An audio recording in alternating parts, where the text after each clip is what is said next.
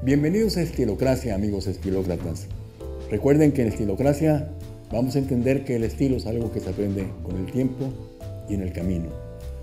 Fíjense usted en esto que es muy raro, cómo es la globalización. Es una marca fundada en 1966 por unos americanos en Los Ángeles, California, pero actualmente pertenece a unos coreanos. Pero son unos tenis finos, son unos tenis de piel que no, no son necesariamente atléticos, pero tienen muy buena duración, tienen muy buena presencia, son unos sneakers clásicos que le gustan a muchísima gente porque tienen buena estampa, tienen buena confección, sus estilos son finos y delicados y la verdad es que tienen muy buen mercado tanto en México como en el resto del mundo.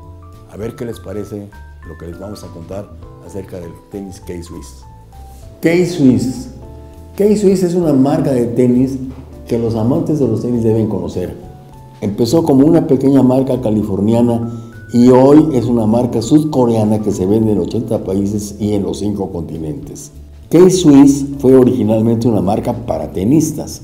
Como practicantes del esquí y el deporte blanco, los fundadores de la marca inspiraron, se inspiraron en las botas de esquí para crear un zapato que, que ayudara a los movimientos agresivos de un lado a otro de los tenistas.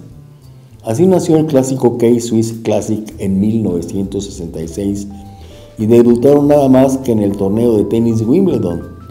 A más de 40 años de su nacimiento, hoy los K-Swiss Classic siguen vendiéndose y reeditándose. Si eres amante de los tenis, debes conocerlos. En 1992 patentaron un sistema de amarrado de agujetas diseñado para darle más soporte al usuario durante los movimientos laterales. Esto quizá provocó que un año después los basquetbolistas de la NBA empezaran a usarlos y que empezaran a distribuirlos en el Reino Unido y en Europa. Más de un millón de pares, los Alteso. Con un blanco prístino y las líneas clásicas de K-Swiss, en 1998, K-Swiss colocó este clásico en todo el mundo vendiendo un millón de pares en un solo año.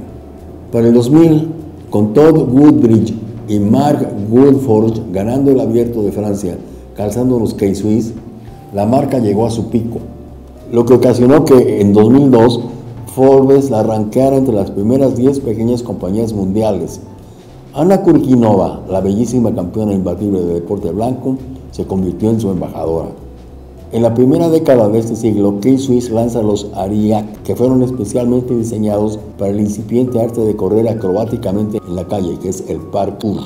Terminando la década, K-Swiss ganó el premio de mejor calzado para corredores de acuerdo a la red de revistas mundiales para corredores. Y entonces presentaron los Tube, un nuevo concepto que utiliza estructuras tubulares para proteger la base del pie y con una figura de 8 en la plantilla, la, tecnología de tubo ofrece una plataforma de cómoda para uso rudo.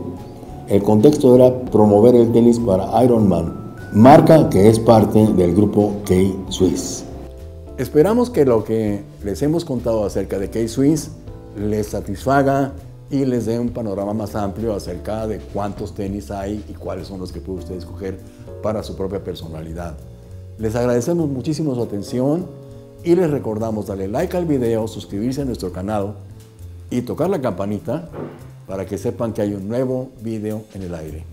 Muchas gracias.